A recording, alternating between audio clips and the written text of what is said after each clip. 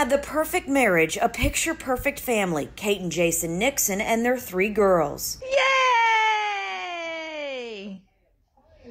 Yay!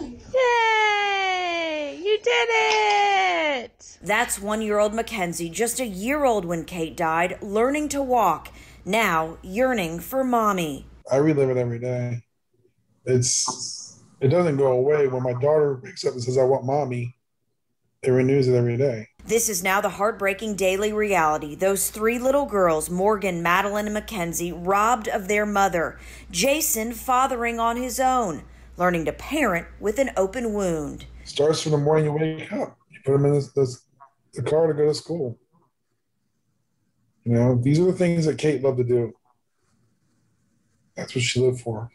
And now I have to do it all. The stress of it all finds him sick in the hospital Thursday, four days before the two year anniversary of the tragedy. It's emotional.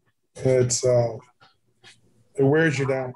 Kate, just 42, a veteran city engineer, was shot in the shoulder on May 31st, 2019 by her coworker. 11 others were killed. She called me on the phone at 406. She probably been shot about 405. Um, said Jason I've been shot, called 911. The night before she told Jason trouble was brewing at work, she felt her disgruntled coworker was going to shoot up the place.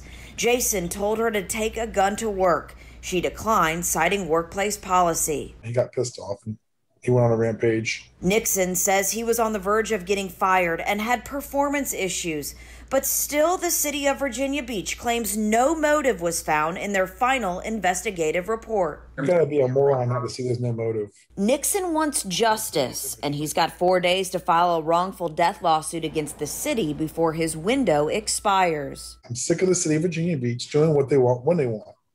Somebody needs to hold them accountable. He, like many other families, saddened two years later. A permanent memorial to honor those brutally murdered is not yet built. It's beyond frustrating because it was such a simple task. Nixon now working each day to do what Kate would want, carrying on her legacy through Kate's most precious gifts. Her daughters, you know, she wanted girls and she got them.